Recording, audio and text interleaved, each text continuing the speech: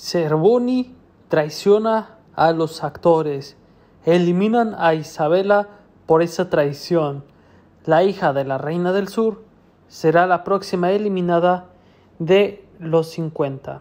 Esto es lo que veremos el día de hoy, lunes 24 de julio. Si quieres saber más, quédate en este video.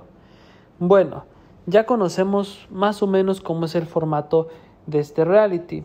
De hecho, hay un calendario pues donde dice que habrá a la semana dos sentencias, dos eliminaciones y juego por dinero. El día lunes toca juego de eliminación. Claro, también habrá otra sentencia, parecido a lo que hemos visto a lo largo de la semana anterior. Lo que llama la atención de todo esto, pues son las alianzas. Alianzas que tienen que estar formando y ya se ven claramente que son los expertos en realities contra los actores es bastante marcado y así es como se ha creado. Cervoni está en el limbo, pues él es actor, pero también es experto en reality. Por lo tanto, él puede irse a cualquiera de los dos. A mí esto pues me llama mucho la atención, porque en lo personal me hubiera gustado que Cervoni comandara a los actores, mientras que Manelik a los expertos en reality. Sería algo muy parejo. Pero no, al parecer aquí Cervoni toma una decisión pues a la mejor estratégica donde quiere irse al bando de los expertos en realities. Probablemente porque conoce a más gente de esa área y piensa que puede fortalecer mejor los lazos. Pero en sí yo creo que debió haber tomado un liderato. Y pues si se va con los expertos en reality, yo creo que no va a sobresalir mucho como si se hubiera ido a comandar a los, a los actores. Pero bueno, dicen que por esta traición que estaría haciendo Cervoni, pues estaría sumando incluso a otro que otro actor para que haga lo mismo, teniendo los actores poca ayuda.